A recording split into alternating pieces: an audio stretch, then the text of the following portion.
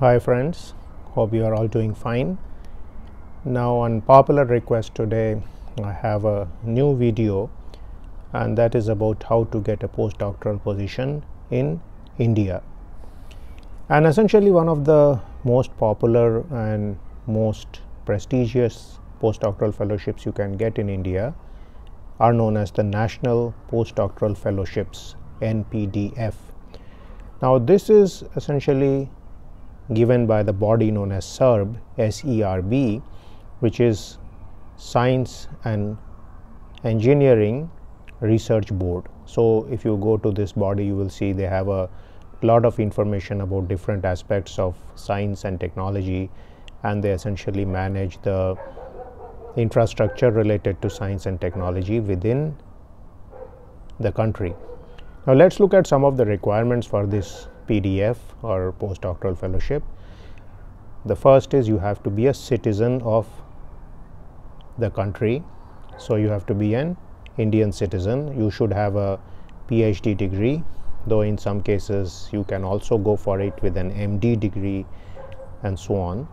And those who are also completing the degree at this point or who are all but finished can also apply for this fellowship, but you need to keep in mind that you should be finishing your PhD pretty quickly. Now, as usual with the Indian type of requirements, you have 35 years as the age limit. Now, this is for general candidates, it is relaxed in the case of candidates coming from some special castes as well as women and people who have physical problems or disabled people as such. Now, essentially as in most fellowships you need to find a mentor, you need to find a host and this person should be at an established or certainly recognized university or research institution. So, this is going to be an important part of the process. You need to figure out this host. Now, typically this host should not be your PhD guide or a co-guide and you should not try to go for the same department or the same university. So, generally these are listed as some of the conditions. So, I think you should follow that in general because these processes are very much favorable to people who are going somewhere else in a different institution maybe with a different supervisor and trying to learn some new techniques. So, you will probably spend a lot of time figuring out the appropriate host. Now, there are a lot of very renowned scientists who are working within India and uh, you can of course identify them through the institution web pages. You can also find them out from Google Scholar, look at their publications. You need to figure out what is the area they are working in and of course you need to write a draft proposal.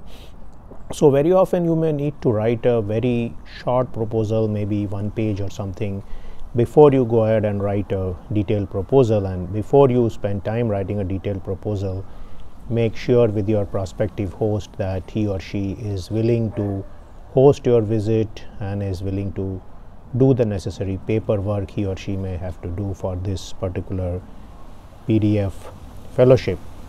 Now, this fellowship is typically for a two year period. You get a salary of about 55,000 rupees per month plus a HRA to take care of your needs for staying in that town or location. You also get a 2 lakh per year grant which is essentially to buy different type of contingencies, consumables, domestic travel, some small equipment and so on and you may also get a smaller grant uh, for some more expenses. So, again these things do keep changing from time to time. At the time I am making this video these are some of the requirements and uh, of course, the fellowship is going to be reasonably competitive. It does provide you an opportunity of going from your current institution where you are doing your PhD degree and maybe going to a different institution with a different scientist and getting a different perspective on the problems you are doing. So, like I mentioned before, whenever you go for a postdoc, you don't have to limit yourself to exactly your PhD problem or even your department. In fact, it is better to go for a different type of problem and of course go for a different department in some cases. So, if you are somebody from civil engineering you can certainly go for a postdoc in mechanical engineering department or something like that. You will have to come up with some problem which is suitable for that department. Now there is a web page for this. I think it is uh, a serb.gov.in and then there is a backslash npdf.php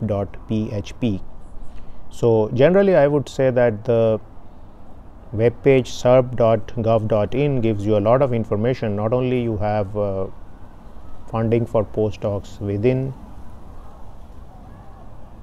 the country, but you may also be able to go to foreign locations to do postdocs. So sometimes these are also provided. Look carefully at this web page. It has a lot of information not only about postdoc but also about the typical fellowships you can get later in your life as you venture on this particular path.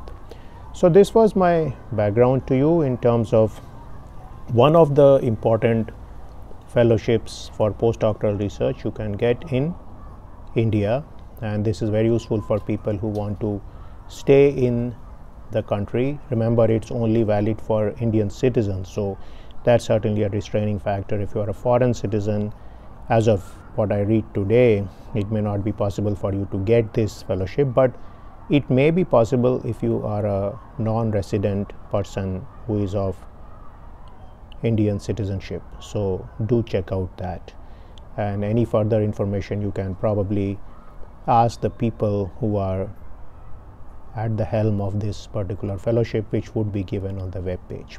So I hope you enjoy this video and do subscribe to my channel and stay tuned for further videos on such topics. See you soon.